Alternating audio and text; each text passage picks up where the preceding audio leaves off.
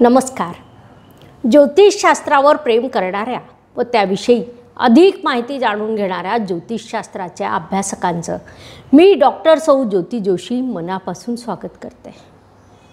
मागच्या भागात आपण मंगळाला मंगळाचीच पत्रिका का बघावी? याचं ज्योतिषशास्त्रीय कारण समजून घेतलं. आजच्या भागात आपण गणाचा अभ्यास करणार आहोत. प्रत्येक मनुष्य दुसऱ्यापेक्षा वेगळा असतो. त्याचा स्वभाव वेगळा असतो. कारण प्रत्येक मनुष्याचा गण वेगळा असतो. देवगण मनुष्यगण राक्षसगण यामध्ये आपण सर्वजण विभागलेले आहोत. ज्योतिषशास्त्राचा अभ्यास करताना या गणांचा सुद्धा अभ्यास करणं आवश्यक ठरतं. कारण फलकथन करीत असताना त्याचा आपल्याला उपयोग होऊ शकतो. गण म्हणजे काय? प्रत्येक गणाची स्वभाव वैशिष्ट्य कोणती याचा आपण अभ्यास करणार आहोत.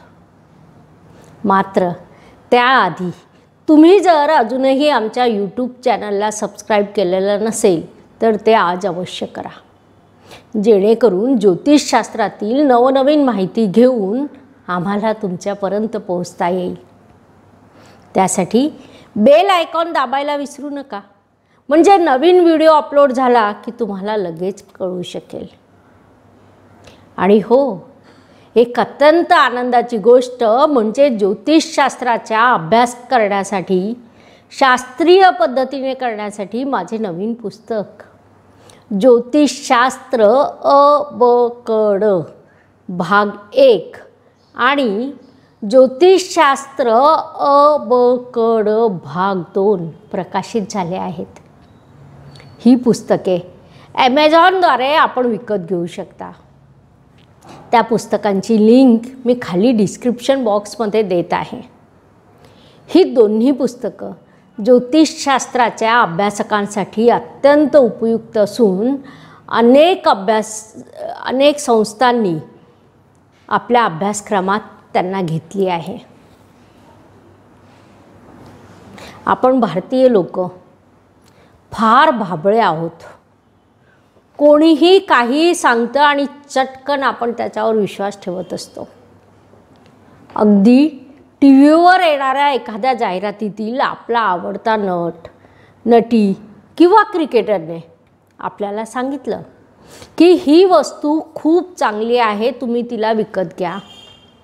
आपण डोळे झाकून त्यावर विश्वास ठेवतो ती एक जाहिरात असून त्यातील आपल्या आवडत्या व्यक्तीला ते बोलण्याचे पैसे मिळालेले आहेत.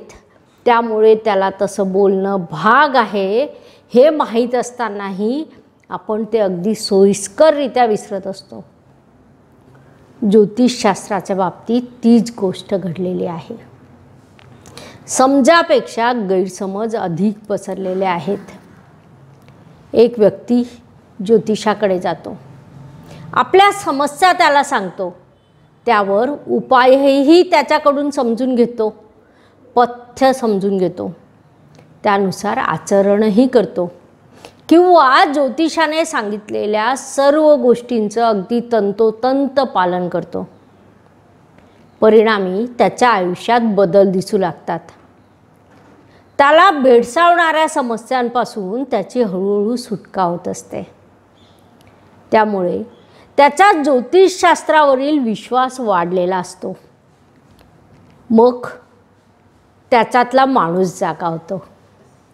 शहाणे करून सोडावे सकल जन. या उक्तीनुसार तो आपले अनुभव इतरांना सांगायला सुरुवात करतो. मात्र ते सांगत असताना त्याला एका गोष्टीचं भान नसतं की ज्योतिषाने सांगितलेल्या गोष्टी ह्या आपली पत्रिका बघून सांगितलेल्या आहेत. समस्या जरी सारख्या असल्या तरी त्यावरील समाधान सारखे असू शकत नाही. शिवाय आपला स्वभाव वैचारिक पात्रता आकलन शक्ती आदी सर्व गोष्टी लक्षात घेऊन आपल्याला पटतील अशा शब्दात व अशा पद्धतीने उपाय सांगितलेले असतात. ते दुसऱ्यांना लागू होऊ शकत नाही. तरीही तो आपले अनुभव इतरांना सांगत सुटतो. तो ज्यांना ज्यांना हे सर्व सांगतो ते सुद्धा फार मन लावून त्याने सांगितलेल्या गोष्टी ऐकतात. व त्यांची आपल्या जीवनात असलेल्या समस्येशी तुलना करू करतात. खरी फसकत तिथे होते. चुकीच्या दिशेने प्रवास व चुकीच्या दिशेने विचार या पद्धतीने सुरू होतात. फक्त ज्योतिषशास्त्रच नव्हे तर प्रत्येक गैरसमज याच पद्धतीने पसरत असावा असे मला वाटतं. मग यातून विवाह जुळवीत असताना केले जाणारे गुणमिलन तरी सुटणार कसे? गुणमिलन करीत असताना एकूण छत्तीस गुण लक्षात घेतले जातात. त्यापैकी किमान अठरा गुण जुळून आले तर ते विवाहास योग्य असं ज्योतिषशास्त्रानुसार मानलं जातं. ही गुणमिलनाची पारंपरिक पद्धत आहे. छत्तीस गुण वेगवेगळ्या गोष्टींवर दिले जातात. त्यातील गण या संज्ञेला सहा गुण आहेत. त्यावरून गणाचे महत्त्व आपल्या लक्षात येईल. गणांचे तीन प्रकार आहेत. देवगण मनुष्यगण आणि राक्षसगण. जातकाच्या जन्माच्या वेळी चंद्र ज्या नक्षत्रामध्ये असेल त्या नक्षत्रातला जो गुण दिलेला असतो तो गण ज्योतिषशास्त्रानुसार त्या जातकाचा असतो. आधी आपण गण म्हणजे काय हे लक्षात घेऊ. गणाचा संबंध मानवी स्वभाव आणि चारित्र्याशी येतो. हाताची पाचही बोटं सारखी नसतात. त्यामुळे प्रत्येक व्यक्तीसुद्धा सारखी असू शकत नाही. व्यक्ती तितक्या प्रकृती असतात. असं म्हटलं जातं ते विनाकारण नाही. प्रत्येक व्यक्तीचा स्वभाव हा वेगळा असतो. व्यक्तीचं वेगळंपण अधोरेखित करतो तो गण होय. संसारिक कलहाची कारणं घेऊन माझ्याकडे अनेक जण येतात. साधारणत समाजामध्ये असे चित्र रंगवले गेले आहे की नवरा बायकोमध्ये काहीच भांडण नसतं. खरं भांडण असतं ते दोन्हीकडच्या घरातील सदस्यांमध्ये. त्यांचं आपसात जमत नाही. त्याचा परिणाम नवरा बायकोच्या संबंधावर सांसारिक आयुष्यावर होतो. मतभेद हळूहळू वाढत जाऊन मनभेदापर्यंत गोष्टी जाऊन पोचते हे खरं असलं तरी अनेक घरांमध्ये बाकीच्या सगळ्यांचं जमतं.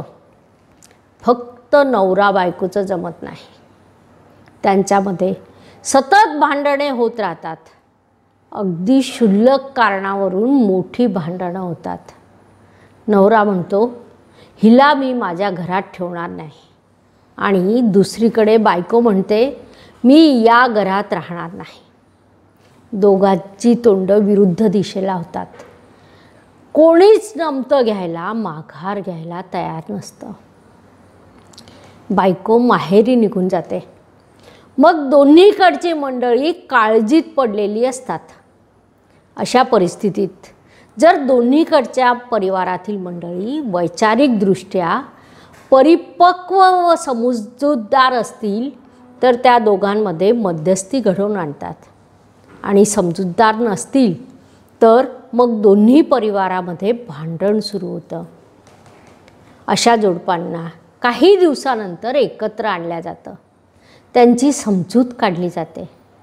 मोठी लोक एकत्र बसून त्यांना समजुतीच्या चार गोष्टी सांगतात. त्यांचे मतभेद दूर करतात. त्यांच्या समस्या जाणून घेतात त्यावर उपाययोजना सांगतात. काही घटनांमध्ये नवरा बायकोपैकी एकाला उपरती होते. कारण ते स्वतः या कामी पुढाकार घेतात. मग पुन्हा नव्याने संसाराला सुरुवात होते. काही दिवस काही महिने व्यवस्थित सुरळीत सुरू राहतं. मात्र पुन्हा कुठल्या तरी कारणावरून बिनस्त आणि पुन्हा वाद सुरू होतात. अशी अनेक जोडपी माझ्याकडे येतात. त्यांच्यात असलेल्या वादाची कारणे ऐकून तर काही वेळेला हसायला येतं.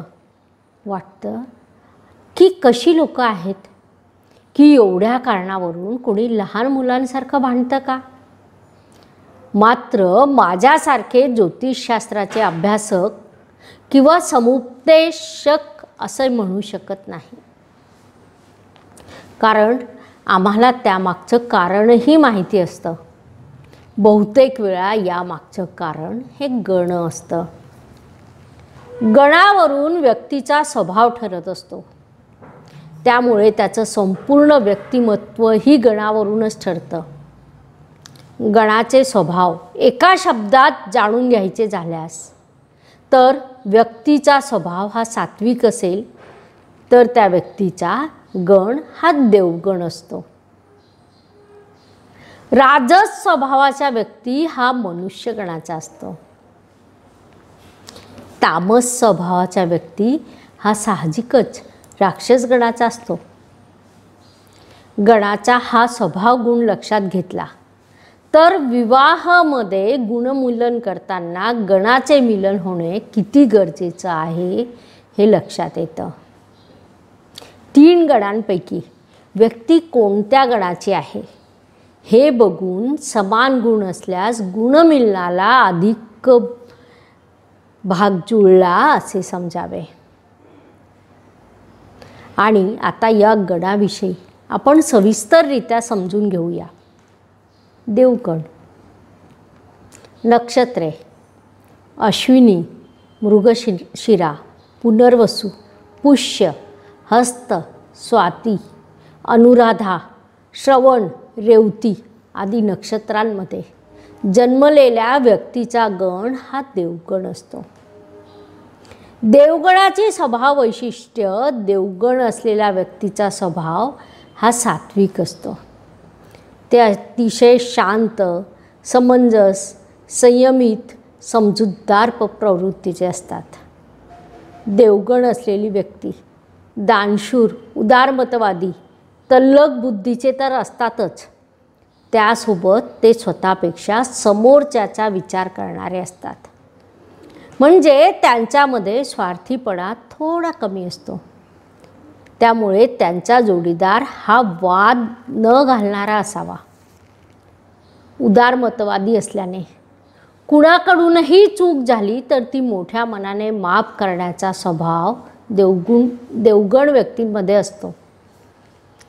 देवगण असलेल्या व्यक्तीचा विवाह जर राक्षसगण असलेल्या व्यक्तीशी झाला तर त्यांच्यामध्ये शांततावाद हा राक्षस गटाच्या जोडीदारास घाबरटपणा वाढू शकतो. परिणामी एकमेकांबद्दल अत्यावश्यक असणारा आदर कमी होतो. त्याचा परिणाम संसारावरही होतो. मनुष्यगण भरणी रोहिणी आद्रा पूर्वा फाल्गुनी उत्तर फाल्गुनी पूर्वाषाढा उत्तराषाढा पूर्व भाद्रपद उत्तर भाद्रपदा आदी नक्षत्रामध्ये जन्मलेल्या व्यक्तीचा गण हा मनुष्यगण असतो. मनुष्यगणाची स्वभाव वैशिष्ट्ये असलेली व्यक्ती ही राजस स्वभावाची असते. ते चांगल्याशी चांगले आणि वाईटाशी वाईट म्हणजे जशास तसे वागणारे असतात. या स्वभाव वैशिष्ट्यांमुळे सहसा या व्यक्ती स समोरील व्यक्तीला स्वतःहून त्रास देत नाही. त्यामुळे मनुष्यगणापासून कोणाला त्रास होईल ही अपेक्षा करता येत नाही. मात्र मनुष्यगणाची व्यक्ती कोणाचा त्रास सहनही करत नाही. बोलगेवढेपणा त्यांच्यात अजिबात नसतो. त्यामुळे आपणहून कुणाशी बोलायला ओळख करून घ्यायला त्यांना आवडत नाही. एकदा ओळख झाल्यानंतर मात्र ते मैत्रीला कधीही विसरत नाही. त्यामुळे मैत्री करण्यासाठी मनुष्यगण असलेली व्यक्ती सर्वोत्तम असतात असं म्हणायला हरकत नाही. आपल्या स्वभाव वैशिष्ट्यामुळे मनुष्यगणाच्या व्यक्ती आर्थिक परिस्थितीसह मनानेही श्रीमंत असतात. त्यामुळे त्यांना समाजात अधिक मान सन्मान असतो. स्वभावाने अतिशय सात्विक सोज्वळ अशी प्रतिमा असल्याने समाजातील कोणा दोघांमध्ये मतभेद भांडण झाल्यास मध्यस्थासाठी त्यांच्या यांची आवर्जून मदत घेतली जाते. राक्षसगण कृत्तिका अश्लेषा मघा चित्रा विशाखा ज्येष्ठा मूळ धनिष्ठा शतभिषा आदी नक्षत्रांमध्ये जन्मलेल्या व्यक्तीचा गण हा राक्षसगण असतो. राक्षसगणाची स्वभाव वैशिष्ट्ये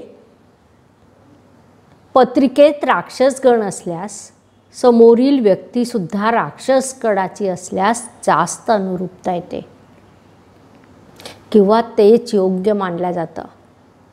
साधारणत राक्षसगण हे नाव ऐकल्याबरोबर भीती वाटणं हा मनुष्य स्वभाव आहे. आणि ते स्वतःच्या बाबतीत असेल तर मग विचारायलाच नको. त्यामुळे राक्षसगणाच्या बाबतीत अनेक गैरसमज पसरलेले आहेत. मात्र त्यात भीती वाटण्यासारखं काहीच नसतं हेही तेवढंच सत्य आहे. राक्षसगणाचे लोक हे साहसी आणि प्रबळ इच्छाशक्ती असलेले असतात. त्यामुळे प्रतिकूल परिस्थितीत ताकदीने उभं राहण्याची जिद्द त्यांच्यामध्ये ठासून भरलेली असते. राक्षसगणाची व्यक्ती. अतिंद्रिय शक्ती अतिशय मजबूत असल्याने यांना विपरीत घडणाऱ्या घटनेची जाणीव फार लवकर होते. त्यामुळे समयसूचकता या व्यक्तींमध्ये असते. किंबहुना हे लोक सदैव दक्ष असतात. येणाऱ्या प्रत्येक गोष्टीचा धाडसाने सामना करतात असे म्हटल्यास वावगे ठरणार नाही. राक्षसगणाच्या मुलींना धडाकेबाज मुलं आवडतात. आपला जोडीदारही आपल्यासारखाच असावा असे त्यांना वाटते. त्यामुळे नमते घेणारा जोडीदार त्यांना नेभळत वाटतो. राक्षसगणाच्या व्यक्ती तापट तामसी आपल्या जोडीदारावर स्वामित्व गाजवणाऱ्या असतात. आपलं तेच खरं अशी प्रवृत्ती त्यांच्यात असल्याने. ते आपलाच हेका पुरविणारे असतात. त्यामुळे विवाहासाठी गुणमिलन करताना समान गण असणारे दोघं एकत्र येणं अधिक चांगलं असतं. तिघही गणांची गुण वैशिष्ट्ये आपण बघितली. आता गुणमिलन करीत असताना ज्योतिषशास्त्रानुसार त्यांना गुण कसे दिले जातात हे सुद्धा आपण जाणून घेऊया. जर वर आणि वधू दोघंही दो देवगणाचे मनुष्यगणाचे राक्षसगणाचे असतील तर ते सर्वोत्तम मानल्या जातं. तेव्हा त्यांना सहापैकी सहा गुण दिल्या जातात. जर वराचा गण देवगण व वधूचा गण मनुष्यगण असेल तर त्यालाही उत्तम मानून सहापैकी सहा गुण दिले जातात. जर वराचा गण मनुष्य आणि वधा वधूचा गण देवगण असेल तर अशा गुणमिलनाला सामान्य म्हणून सहापैकी पाच गुण दिले जातात. जर वराचा गण देव आणि वधूचा गण राक्षस असेल तर ज्योतिषशास्त्रानुसार हे गुणमिलन होत नाही. अशा व्यक्तीचा विवाह करणं योग्य नसते. त्यांना सहापैकी फक्त एक गुण दिला जातो.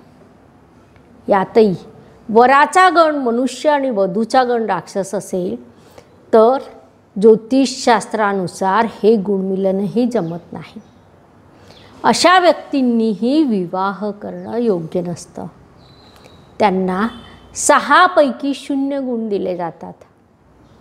हे गणांचे गुणमिलन जरी योग्य असले तरी विवाहासाठी पत्रिका जुळवित असताना फक्त गणांचे गुणमिलन जुळत नाही म्हणून विवाह तोडता येत नाही. त्यामुळे फक्त गणांच्या गुणमिलनावरून कुठल्याही निष्कर्षापर्यंत पोहोचू नये. ज्योतिषशास्त्र हे फार गहन शास्त्र आहे. त्यामध्ये कुठलीही गोष्ट ढोबळ सांगितलेली नाही. तर प्रत्येक गोष्टीत गहन असा कार्यकारण भाव दडलेला आहे. विवाहासाठी पत्रिका जुळवीत असताना फारच मोठा ग्रहदोष असेल तरच विवाह करण्यास मनाई केली जाते. जेणेकरून विवाह झाल्यानंतर कुठली गंभीर समस्या उत्पन्न व्हायला नको. मी अशा भरपूर पत्रिकांचा अभ्यास केलेला आहे की ज्यामध्ये गणांचे गुणमिळन होत नसतानाही नवरा बायकोचं सांसारिक आयुष्य अतिशय आनंदात व्यतीत होत आहे. मात्र विवाहासाठी गुणमिलन करीत असताना गणाच्या गुणमिलनाला अजिबात महत्त्व नाही असा याचा अर्थ अजिबात होत नाही. गणांचे गुणमिलन झालेले नसतानाही काही जणांना त्याचा त्रास होत नाही. कारण त्या व्यतिरिक्त त्यांच्या पत्रिकेमध्ये विवाहासाठी अनेक शुभयोग जुळून आलेले असतात. त्यामुळे त्यांच्या पत्रिकेमधून गणदोषाचा प्रभाव नाहीसा झालेला असतो. म्हणून गणदोष असले तरी सरळ विवाह तोडण्याचा प्रयत्न करू नये. पत्रिकेतील दुसऱ्या गोष्टींविषयी अधिक माहिती जाणून घ्यावी. याशिवाय महत्त्वाची गोष्ट म्हणजे कित्येकदा पत्रिकेतील गणदोषांचे निवारण ज्योतिषशास्त्रात सांगितलेल्या उपायांवरून केले जाऊ शकते. म्हणून विवाह जुळवताना योग्य सल्ला घेणे आवश्यक आहे. ज्योतिषशास्त्राच्या अभ्यासकांसाठी गणमिलनासाठी एवढी माहिती पुरेशी आहे असं मला वाटतं. म्हणून आजच्या भागात आपण आता थांबूया.